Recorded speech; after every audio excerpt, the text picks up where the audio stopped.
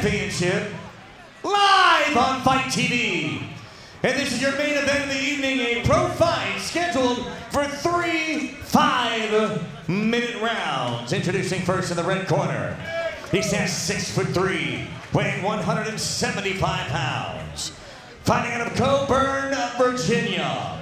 He is a veteran of 19 fights, Roy Real Steel Sanders. And in the blue corner, he stands 5 foot 11, weighing 175 pounds. Fighting out of Cincinnati, Ohio, he represents Limitless BJJ and Fitness. And he is a Brazilian Jiu-Jitsu black belt with a record of one win, no losses. Robby, the Hebrew Heartthrob.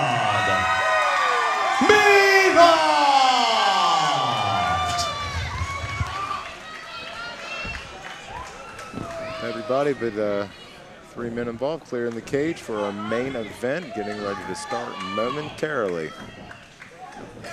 Be very interesting. I'm, I'm biting Robby won his first fight via knockout. It'd be interesting to see if this fight goes to the ground or if he keeps it standing. Touch of gloves. Come on, Robby. There it is.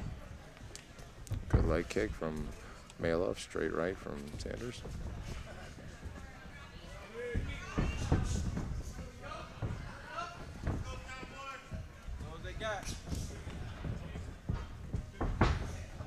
Oh, interesting. Oh, no. Hook kick there, that's, yeah. Robby controlling the center of the ring, walking him down nice and slow. A little attempt for an oblique kick.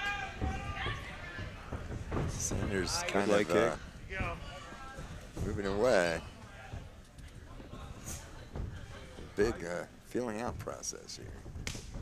Outside leg kick from Robby.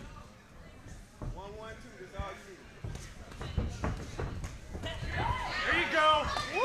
Nice leg kick from Robby Malof. Taking his time, getting his timing down. Same as Sanders, both these guys kind of feeling each other. There you go. Nice. Malof finding a home for that uh, lead leg uh, Come on. There you kick. go.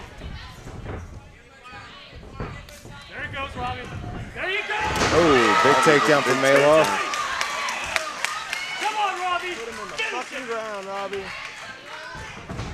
Oh, what is happening? Nice slam. Fuck yeah. Finish it. Robby Malof, a big takedown and then a big belly slam. He's in the guard here, Sanders. And this is where Robby Malof is Come just Robby. dangerous. He's just dangerous on the ground. About two minutes in. Absolutely. I mean, once he's connected to you and you're on the floor, it's, it's going to be trouble. Oh, Roy Sanders just made a Come on, Robby. big mistake. He uh, definitely needs to try to turn back into his opponent. It looks like, uh, Knees here. yeah, You know, there you see Robby doing something he's not able to do in all of the jiu-jitsu tournaments that he competes in so regularly. loosen up the pickle jar Yeah, of strikes. right, right.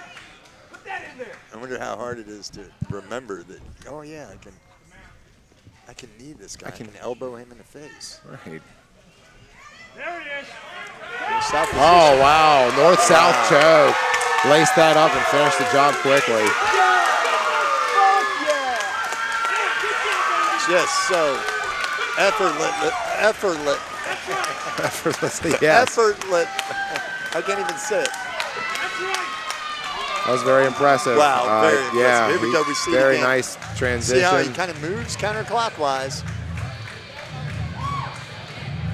Hook that, he hooks that neck.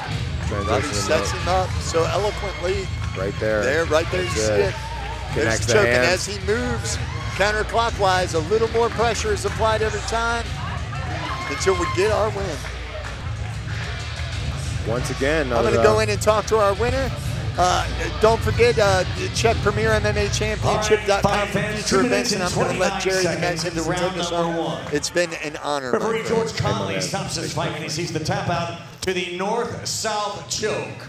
Your winner, Robby the Hebrew Heartthrob Malof. Winner by strangulation, Robby Malof. Very impressive, uh, keeping his unblemished pro record intact.